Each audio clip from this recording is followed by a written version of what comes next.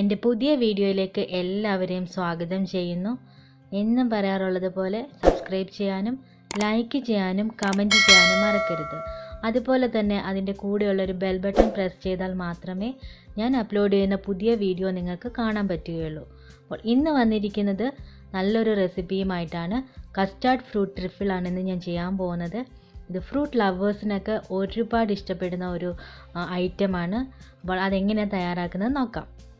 ഉണ്ടാക്കാൻ വേണ്ടിയിട്ട് നമുക്ക് ഇഷ്ടമുള്ള ഫ്രൂട്ട്സ് എടുക്കാൻ പറ്റും. ഞാനിവിടെ കുറച്ച് ഫ്രൂട്ട്സ് എല്ലാം എടുത്ത് വെച്ചിട്ടുണ്ട്. പിന്നെ ഒരു ലെയർ ചെയ്യാൻ വേണ്ടിയിട്ട് കേക്കാണ് ആവശ്യം. ഞാൻ ചോക്ലേറ്റ് കേക്കാണ് എടുത്തിരിക്കുന്നത്. പിന്നെ ഞാൻ ഇവിടെ ഒരു ലെയർ ചെയ്യുന്നത് ഫ്രൂട്ട് കസ്റ്റാർഡ് കൊണ്ടാണ്. ഞാൻ അതിന്റെ വീഡിയോ ഒരു പ്രാവശ്യം ചെയ്തിട്ടുണ്ട്. അതുകൊണ്ട് ഞാനത് എങ്ങനെ ഉണ്ടാക്കുന്നതെന്ന് ഇവിടെ കാണിക്കുന്നില്ല. ഇവിടെ ചോക്ലേറ്റ് കേക്കാണ് എടുത്തിരിക്കുന്നത്. പക്ഷേ അതിന് പകരം വാനില കേക്ക് എടുത്താലും നല്ല ടേസ്റ്റ് തന്നെ ആയിരിക്കും പിന്നെ ഇവിടെ ഫ്രൂട്ട് കസ്റ്റാർഡ് നമുക്ക് ഇഷ്ടമുള്ള രീതിയിൽ ചെയ്യാം.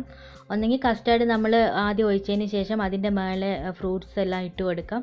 ഞാനിവിടെ ഫ്രൂട്ട്സും കൂടെ മിക്സ് ചെയ്താണ് കാണിക്കുന്നത്. അതിലേക്ക് ഞാനൊരു വിപ്പിംഗ് ക്രീമിന്റെ ലെയർ കൊടുക്കുന്നുണ്ട്. ഞാൻ അതിന് വേണ്ടിയിട്ട് ഒരു അര കപ്പ് വിപ്പിംഗ് ക്രീമാണ് എടുക്കുന്നത്.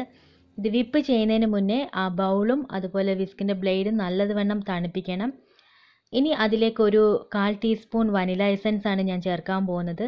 പിന്നെ ഇതിലേക്ക് ചേർക്കുന്ന പഞ്ചസാര എന്ന് പറയുന്നത് ഞാൻ സാധാ പഞ്ചസാര പൊടിച്ചിട്ടൊന്നുമല്ല ചേർത്തിരിക്കുന്നത്. അങ്ങനെ ചെയ്താൽ പോലും നല്ല പെർഫെക്ഷനിൽ ഇത് വരും.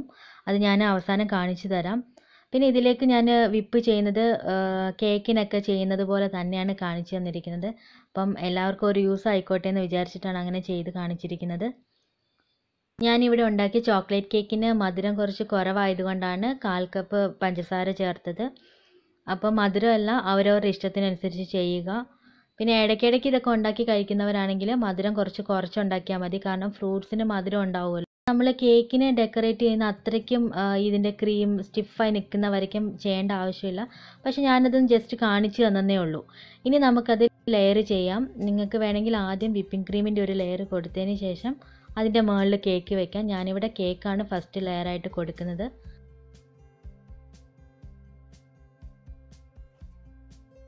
കേക്കിന്റെ മേലെ നമ്മൾ റെഡിയാക്കി വെച്ചിരിക്കുന്ന വിപ്പിംഗ് ക്രീമിന്റെ ലെയറാണ് ചെയ്യാൻ പോകുന്നത്. ഇത് പാത്രത്തിനുള്ളിലായതുകൊണ്ട് നമുക്കിതൊന്നും കറക്റ്റായിട്ട് ലെവൽ ചെയ്യാനൊന്നും പറ്റത്തില്ല. പക്ഷേ പറ്റുന്ന പോലെയൊക്കെ ഒന്ന് ലെവൽ ചെയ്തതിന് ശേഷം അതിന്റെ മേലെയാണ് നമ്മൾ ഫ്രൂട്ട്സ് വെക്കാൻ പോകുന്നത്.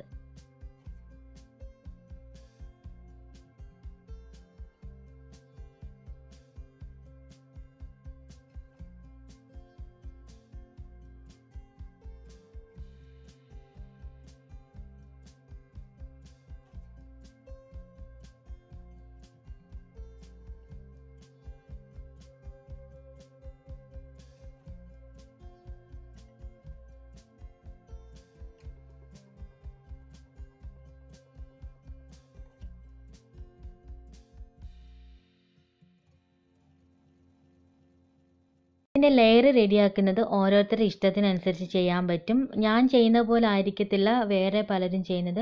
അതുപോലെ നിങ്ങൾ ഉണ്ടാക്കുമ്പോൾ ഇത് വേറെ രീതിയിലായിരിക്കും ചെയ്യാൻ പോകുന്നത്. ഇവിടെ ഞാൻ എടുത്തു വെച്ചിരിക്കുന്ന ഫ്രൂട്ട്സ് ഓരോന്നോരോന്നായിട്ട് അതിലേക്ക് ചേർക്കാൻ പോവുകയാണ്. ഇവിടെ ചെറിയ ചെറിയ പീസസ് ആയിട്ട് കട്ട് ചെയ്തിട്ടാണ് ഞാൻ ചേർക്കുന്നത്. പിന്നെ ഇവിടെ ഞാൻ എടുത്തിരിക്കുന്ന അനാറിന് അത്ര കളറില്ല നല്ല കളറായിട്ടുണ്ടെങ്കിൽ നല്ല ഭംഗിയായിട്ടുണ്ടാവും കാണാൻ വേണ്ടിയിട്ട്. പിന്നെ ഗ്രേപ്സ് ഒക്കെ പല കളറിലുള്ളതുകൊണ്ട് നമ്മൾ അതെല്ലാം മേടിച്ച് വെക്കുകയാണെങ്കിൽ അത് നല്ലൊരു ഭംഗിയായിരിക്കും കാണാൻ വേണ്ടിയിട്ട്. ഇതെല്ലാം അവരവരുടെ ഇഷ്ടത്തിനനുസരിച്ച് ചെയ്യുക.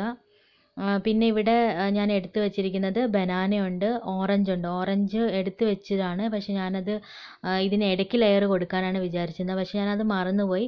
പിന്നീട് ഞാൻ അവസാനം ഡെക്കറേറ്റ് ചെയ്ത സമയത്ത് ഞാൻ ഈ ഓറഞ്ചിന്റെ പീസസ് എല്ലാം വെച്ചിട്ടുണ്ട്.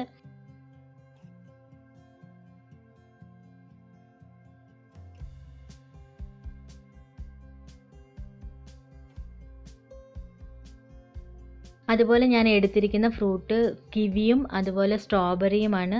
ഇത് തമ്മിൽ നല്ലൊരു കളർ കോമ്പിനേഷനാണ് ഇത് നല്ലൊരു അട്രാക്റ്റീവാണ് ഇത് എങ്ങനെയായാലും നമുക്കിത് കഴിക്കാൻ തോന്നും. ഇതിന്റെ അത്രയ്ക്കും നല്ലൊരു കളർ കോമ്പിനേഷനുണ്ട് ഇതിന്. അപ്പോൾ ഇതും കൂടെ ലെയർ ചെയ്തതിന് ശേഷം ഇതിലേക്ക് നമ്മൾ റെഡിയാക്കി വെച്ചിരിക്കുന്ന ഫ്രൂട്ട് കസ്റ്റാർഡാണ് ഞാനിതിലേക്ക് ഒഴിക്കാൻ പോകുന്നത്. അപ്പം അതെല്ലാം നമുക്കിപ്പം ഫസ്റ്റ് ലെയർ വിപ്പിംഗ് ക്രീമിന് പകരം ഫ്രൂട്ട് കസ്റ്റാർഡ് വേണമെങ്കിൽ ചേർക്കാം. അതിന് ശേഷം നമുക്ക് വിപ്പിംഗ് ക്രീം ചെയ്യാം. അതൊക്കെ നമ്മളുടെ ഒരു താല്പര്യത്തിനനുസരിച്ച് ചെയ്യുക. അതിന് ശേഷം ഞാൻ ഇതിലേക്ക് കുറച്ച് കേക്ക് പൊടിച്ചതാണ് ചേർത്ത് വെച്ചിരിക്കുന്നത്.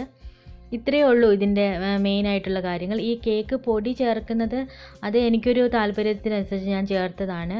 ഇനി അതിന്റെ മേലെ നമ്മൾ ബാക്കിയുള്ള ഫ്രൂട്ട്സ് എല്ലാം കൂടി വെച്ച് ഡെക്കറേറ്റ് ചെയ്യുവാണെങ്കിൽ നമ്മുടെ കസ്റ്റാർഡ് ഫ്രൂട്ട് ട്രിഫിൾ ഇവിടെ റെഡി ആയിട്ടിരിക്കുകയാണ് അത് ഇതൊരു അരമണിക്കൂർ നേരം ഫ്രിഡ്ജിൽ വെച്ചൊന്ന് സെറ്റ് ആക്കിയതിന് ശേഷം സെർവ് ചെയ്യുന്നതായിരിക്കും നല്ലത്. പക്ഷെ അങ്ങനെ ചെയ്തില്ലെങ്കിലും കുഴപ്പമൊന്നുമില്ല. നമുക്ക് നല്ലൊരു ടേസ്റ്റ് കിട്ടുന്നതായിരിക്കും. കുട്ടികൾക്കെല്ലാം നല്ല അട്രാക്റ്റീവ് ആയിരിക്കും. അതുപോലെ തന്നെ വലിയവർക്കാണെങ്കിലും ഭയങ്കര ഇഷ്ടപ്പെടുന്ന ഒരു സംഭവമാണിത്. നല്ലൊരു ഐറ്റമാണ് അപ്പോൾ ഇതെല്ലാവരും ഉണ്ടാക്കി നോക്കുക. എന്റെ ചാനൽ ഇഷ്ടപ്പെടുന്നവരാണെങ്കിൽ ദയവായിട്ട് സബ്സ്ക്രൈബ് ചെയ്യുക. അതുപോലെ തന്നെ ബെൽ ബട്ടൺ അമർത്താനും മറക്കരുത്. താങ്ക്